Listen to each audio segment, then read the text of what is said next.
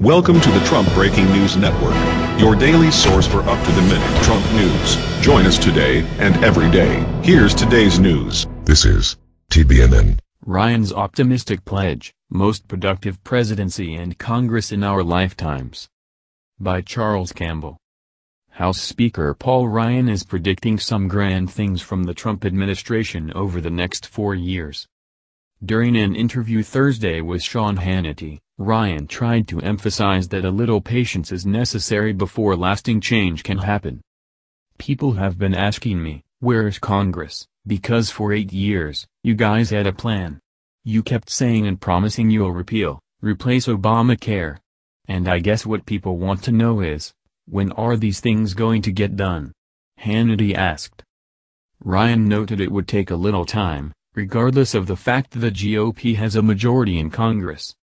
I would love to do this stuff yesterday, but getting Congress to act on all those things you just said in just one year's time, unprecedented. Ryan said. He then doubled down, saying, this will be the most productive presidency and Congress in our lifetimes. Ryan blamed media rumor mills for giving the misperception that Obamacare would be repealed and replaced immediately. It actually hasn't been all over the map from us, from me. It has on the map from the press, it's been all over the map from rumor mills, he said. But from us here in Congress, we're exactly on the time limit that we laid out for ourselves. Among the list of things to do, Senate Majority Leader Mitch McConnell and Ryan have put together a 200-day plan which aims to pass several of Trump's agenda items through Congress.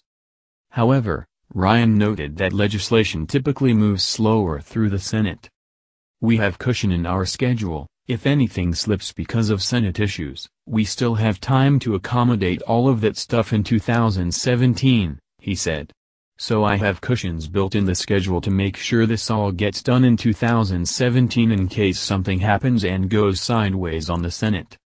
The last three weeks in the House were dedicated to votes on resolutions to overturn Obama-era regulations issued before Trump assumed office. Following reports of chaos inside the West Wing, the president claimed his administration is moving like a fine-tuned machine during a press conference Thursday. What do you think? Scroll down to comment below. That's the news. Join us here every day. Be sure to subscribe and click the bell. See you next time. This is TBNN.